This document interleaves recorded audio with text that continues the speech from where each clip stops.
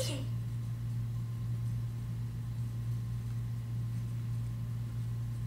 I did beauty pageants in my space world on Mars.